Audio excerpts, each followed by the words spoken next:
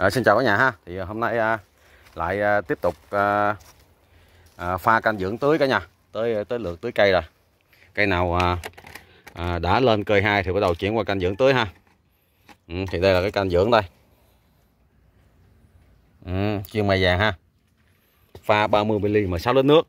À, thùng này 20 lít mình pha 40ml cái muỗng này 100 100ml 100ml á. À, thì mình pha 4 4 phần. Chưa được nữa ha.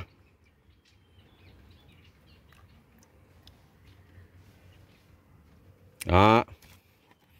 Chưa được nữa. Rồi đổ vô thùng này ha. Thùng này là cái à, nước sông ở cả nhà nên nó màu đục đục kìa nè.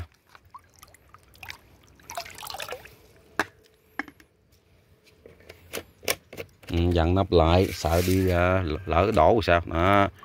Nè cây mai nè. Cây mai mình cắt ngang mình uh, ghép mình lấy cái cũ ghép mà còn cái thân uh, dục ừ, nè lấy cắt củ ghép đó. bây giờ à, ơi khiên tưới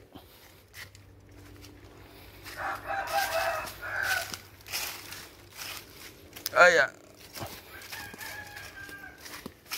nặng cả nhà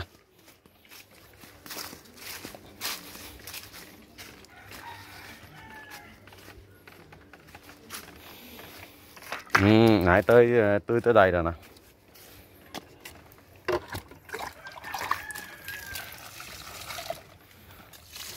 Ừ, thằng nó lứt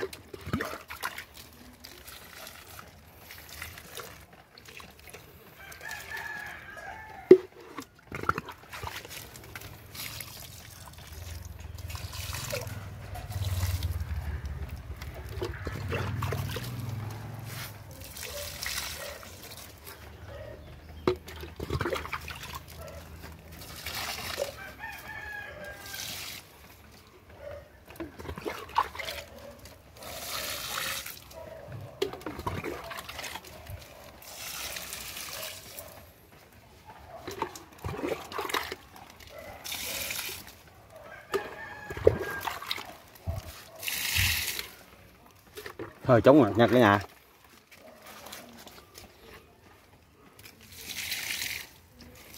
Rồi xong.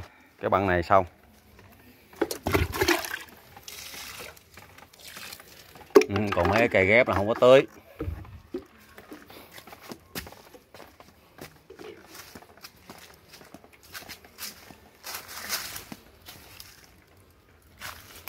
ừ cưa mấy cây ương nè.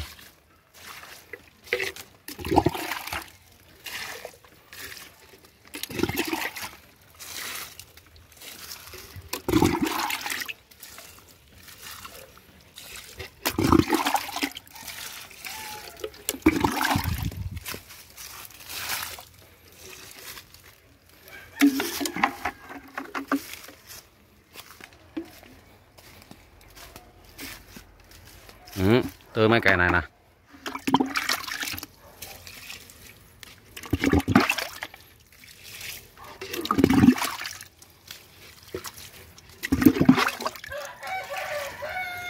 Ừ, còn nhiều quất cây này luôn nè.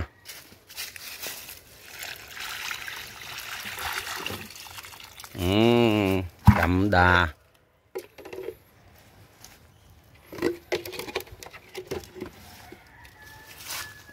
Thôi à, xin dừng video tại đây ha cả nhà. À, chúc cả nhà vậy ha. À, cả nhà nhớ tưới à, canh dưỡng để cho cây mình phát triển ha.